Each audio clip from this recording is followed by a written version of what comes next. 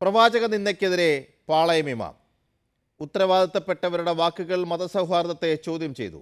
പ്രവാചകനെ അധിക്ഷേപിച്ച ആർക്കും മുസൽമാന്റെ വിശ്വാസം തകർക്കാനാവില്ലെന്നും ഡോക്ടർ വി. പി. സുഹൈബ് മൗലവി പെരുന്നാൾ ദിന സന്ദേശത്തിൽ പറഞ്ഞു. ഏറ്റവും ഉന്നതമായ മതസൗഹാർദ്ദ പാരമ്പര്യവും ചരിത്രവുമാണ് നമ്മുടെ നാടിനെ എന്നും ലോകത്തോട് പറയാറുള്ളത്. പക്ഷേ ഉത്തരവാദപ്പെട്ട ചില ആളുകൾ ഈ അടുത്ത കാലത്ത് നടത്തിയ പ്രവാചക നിന്ദയിലൂടെ നമ്മുടെ നാടിന്റെ സൗഹൃദ പാരമ്പര്യമാണ് ചോദ്യം ചെയ്യപ്പെട്ടിരിക്കുന്നത്. ഇന്ത്യ ലോകത്തിന്റെ മുമ്പിൽ ശിരസ് നമിക്കേണ്ടുന്ന അവസ്ഥാവിശേഷം സംജാതമായി. സഹോദരങ്ങളെ പ്രവാചക നിന്ന പോലുള്ള കാര്യങ്ങൾ നമ്മുടെ രാജ്യത്ത് നമ്മുടേത് പോലുള്ള രാജ്യത്ത് ആവർത്തിക്കാതിരിക്കാനുള്ള ജാഗ്രത നമ്മുടെ ഭരണകൂടങ്ങൾക്കും അതുപോലെ തന്നെ നമ്മുടെ കോടതികൾക്കും വേണം അതിനാവശ്യമായ നടപടികൾ.